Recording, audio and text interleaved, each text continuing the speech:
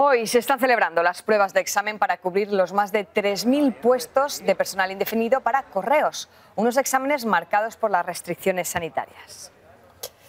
Es uno de los procesos de selección más reñidos en España. Cada 44 opositores optan a una plaza, unas oposiciones que algunos llevan preparando muchos meses.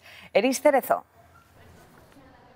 Hoy es un día muy importante para muchos, casi 150.000 aspirantes de toda España se presentan al examen de las oposiciones de correos. Todos ellos van a intentar hacerse con una de las 3.381 plazas fijas ofertadas, una de las convocatorias más multitudinarias de la última década a la que hay que sumar las medidas sanitarias. La reducción de aforo ha obligado a ampliar las ciudades de examen a 32 con un total de 160 sedes en todo el país. Aquí, en Madrid, los nervios se han notado.